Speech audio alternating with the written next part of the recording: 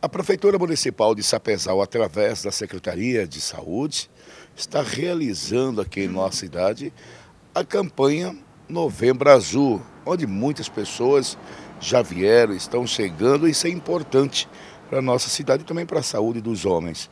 Então, hoje nós, dia 26 do 11, né, está sendo realizada a campanha Novembro Azul. A campanha tem o foco sobre a saúde do homem e também tem como base também o diagnóstico precoce, o rastreio né, e a prevenção do câncer de próstata, que é um dos cânceres mais incidentes na população masculina, né, e é o que mais mata os homens, só está atrás do câncer de pele, né. É, o Instituto Nacional do Câncer, né, através de pesquisa, eles estimam-se que surgem mais de 71 mil casos novos. Então, hoje nós já tivemos palestra aqui com os funcionários da atenção básica, o enfermeiro Igor, focando sobre a importância da saúde do homem. Nós falamos muito também a respeito da importância do homem na sociedade porque o homem ele é o principal ou um dos provedores de renda, né? Então esse homem precisa se cuidar.